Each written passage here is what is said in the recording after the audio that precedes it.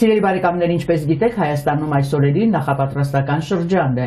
ընթառաջ խորհրդարանական ընտրություններին։ Մեր նախորդ հաղորդումների ժամանակ ես ձեզ եմ ներկայացրել Ելքդաշինքի կարգախոսները։ Այսօր ուզում եմ ձեզ ներկայացնել հայ հեղափոխական դաշնակցության կարգախոսը, ինչպես նաև ռամկավար ազատական կուսակցության դիրքորոշումը խորհրդարանական ընտրություններից առաջ։ Նոր սկիզբ արդար Հայաստան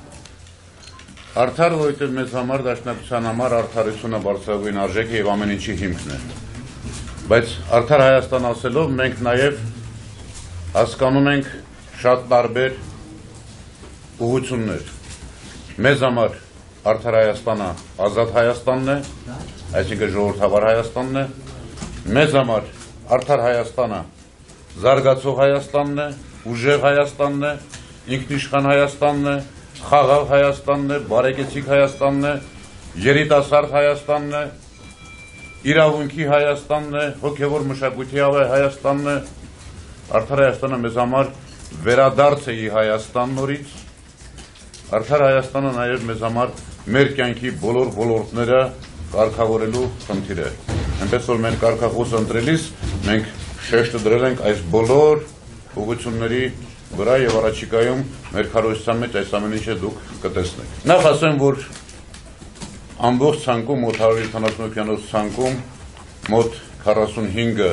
հանկուսակցականներ են համակիրներ, ովքեր տարիներ շարունակ մեզ հետ են եղել եւ մենք եթե հանկուսակցական ենք մեր ցանկերում դրել, ապա նրանց հետ բնականաբար խոսել ենք, բանակցել ենք, քննարկել ենք եւ նրանք համաձայն են մեր արժե համակարգի հետ, մեր մտածողության հետ եւ նույն թիմի անդամներ են։ Մոտ ասացի 45-ը անկուսակցականներ են։ Դուք համոզված եք, համոզված եմ, չեք տեսնի մեր տարածքային տեխնացուների մեջ միմյանց հանդեպ մրցակցություն, մեկը մյուսի ձայները խլելու փորձեր, մենք ունենք միասնական թիմ ամենտեղ եւ յուրաքանչյուրը ունի մեկ նպատակ՝ առավելագույն ձայներ ապահովել դաշնակցությանը։ Այս առումով մենք իսկապես որակապես տարբերվում ենք այլ քաղաքական ուժերից, դեռ դա բխում է դաշնակցության բնույթից, էությունից։ Ռամկավար ազատական կուսակցությունը բաժանվել է երկու մասի։ Հայաստանյան կառույցը հայտարարել է ապրիլյան ընտրություններին Ծառուկյան դաշինքի հետ մասնակցելու մասին։ Սփյուռքի կառույցը դեմ է այս որոշմանը։ Գետրոնական վարչությունը լալով Սփյուռքյան կառույցներ մենք մեզ չեն կարդոնել, որ ներքին հանրապետական հայկական բեդության մեջ փորձենք միջամտել կամ աստել մարդոց ժողովրդին, որ այս տաշինքին կամ մյուս տաշինքին անդամակցին։ Սփյուռքի ռամկավարները չեն ուզում համագործակցել հայաստանյան ընդդիմության հետ։ Ըստ այդմ դեմ են նաև իրենց անունից Ծառուկյան դաշինքին աջակցություն հայտնելու։ Մենք միշտ գործակցած ենք բոլոր ան մեր գարուսներուն հետ, որ նույն ուղեկիցը որ տեքրած են եւ իշարունակեն այդ ուղությամբ։ Ըստ երևույթին այսօրվա Հայաստանի ռագը մի քիչ եղած այդ ուղեկիցեն Ասուլիսի ընթացքում անակնկալ ներս մտավ Հայաստանի ռամկավար ազատական կուսակցության ատենապետ Հակոբ Ավետիքյանը։ Նա պնդեց 2016-ի հոկտեմբերին իրենք համագումարով կենտրոնական վարչություն են ընտրել։ Կուսակցությունը գրանցված է ըստ կարգի եւ որևէ խոչընդոտ չկա ընտրություններին դաշինքով մասնակցության հարցում։ Դրճի կառույցը անշուշտ կառույցները կարող են իրենց խոսքը ասել եւ այլն, բայց որոշելու իրավունք չունեն։ Հակոբ Ավետիքյանը վստահ է ռամկավար ազատական կուսակցության սփյուռքյան ներկայացուցիչներին ուղղորդում են իշխանությունները։ Հստակորեն տեսնում ենք համապատասխան պետական կառույցների միջամտությունը այս գործում։ Համապատասխան պետական կառույցների ավելի շուտ իշխանությունների իշխանությունների ուրեմն միջամտությունը, որբեսի խանգարվի մեր հետագա ընթացքը ընտրություններում։ Մենք բնավ բեդության չենք դիմաց, ոչ էլ աջակցություն ունենք այսօրվա ասուլիսը գազմագերբելու, եւ մենք քիչ առաջ շատ հստակ ասեցինք իր կալեն առաջ, որ մենք թեմ չենք, որ իրենք որևէ մեկ դաշինքի հետ համացայնություն կնքեն ընդրության երթալու։ Մենք մեր նպատակը հիմնականն է մեր անունով, Սփյուռքյան գարույցի անունով խոսելու իրենք կարողությունը եւ իրավունքը չունին։ Ավանդական կուսակցությունում եղած տարակարծություններին տեղյակ է Գագիկ Ծառուկյանը։ Վերջինս իր խոսնակի միջոցով հայտարարել է. ինքը ձեռնպահ է մնում հռակի հետ դաշինքային համագործակցությունից մինչև ներքին խնդիրները չհաղթահարվեն։ Խորհրդարանական ընտրություններին ընթരാճ նախապատրաստական շրջան է նաև Հայաստանի գյուղերում, նույնիսկ ամենաաղքատ եւ սահմանամերձ գյուղերում։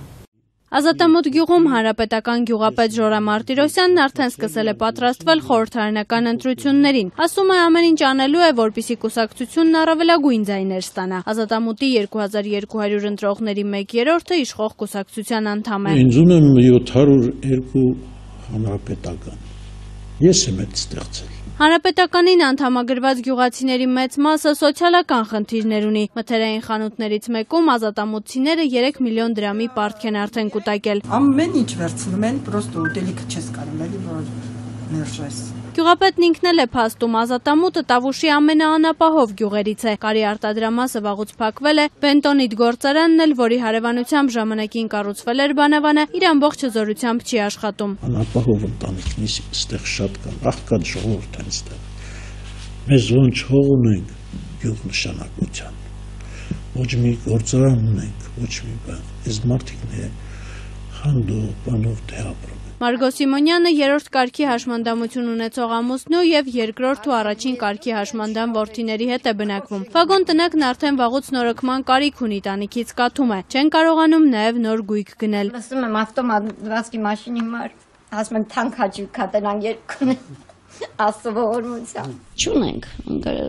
երևույթով պակաս պրատ ենք, բայց հոգով շատ հարուստ, հանգիստ, խաղաղ անկյունային չալեր, պարքաստու ապրում ենք աստվո օրմությամբ որովհետև մեզանից ավելի բեթերները կան։ Քանի դեռ ամուսինս կա, ընկճված չեմ։ Ընկած եմ, բայց կոտրված չեմ։ Դեկտեմբերին նախագահ Սերժ Սարգսյանն էր ազատամուտ այցելել։ Համայնքապետին առաջարկել աշխատատեղերի ստեղծման տարբերակներ ներկայացնել։ Օրերս գյուղը նաև սահմանամերձի կարգավիճակ ստացավ։ Համայնքի ղեկավարի պնդմամբ սա նախընտրական շրջանի հետ կապ չունի։ Իրենք կառավարությանը վաղուց էին դիմել, որպիսի գյուղացիները կարողանան որոշակի արտոնություններից օգտվել գազի ու հոսանքի դիմաց պակաս վճարել։ Փոստային բաժանմունքի աշխատակից Սիլվարդ Փայտյանն ասում է լույսի ու գազի հսկիչների հետ անընդհատ վեճեր են։ Մարդիկ վճարել չեն կարողանում։ Շատերն էլ հիասթափվում են ու արտագնա աշխատանքի մեկնում։ Պոստատան պատին տան վաճառքի մասին հայտարարություններ են փակցված։ Հիմա եթե արտոնություններ ունենան, գուցե մնան, ասում է Ազատամուտցի կինը։ Դաշնային աշխատանքի տեղ է ուզում լինի, արտագաղթը շատ է, արդեն մարդիկ տներ են շատ վաճառում, այդ էս կծրած է, փակցված է։ Հետո ասենք արտագնա աշխատանք են դնում, ասից ջան, հենց կա հետեք չկան ընտանիքներ են քայքան ընտանիք սրբությունը ու եկեղեցին քանդած ու տունը քան